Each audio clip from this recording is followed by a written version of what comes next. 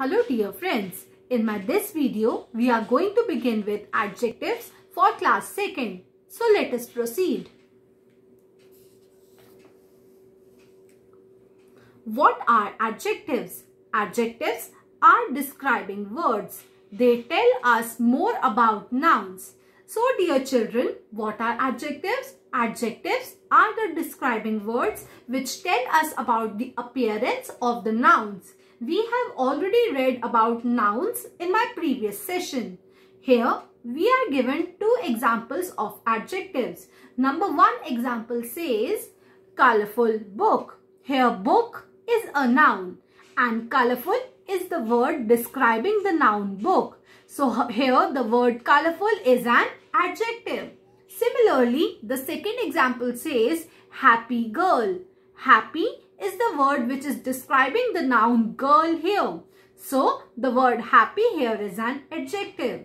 Now, let us look at some other examples.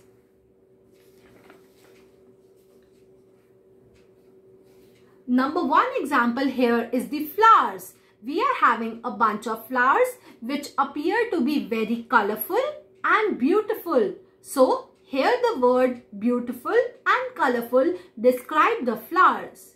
So, the word colorful and beautiful are adjectives.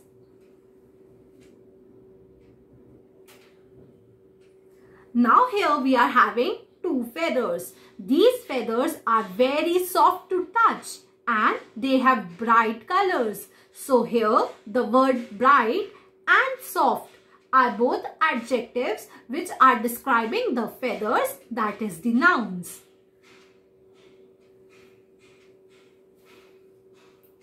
The third example here is of a dress. The dress is new and black in color. So the words new and black both are describing the noun dress and these words are adjectives. Now let us look at another example. Here we are having a plate full of fruits. These fruits appear to be fresh and yummy. So the words fresh and yummy are describing words that is adjectives. Now we are having a marker here.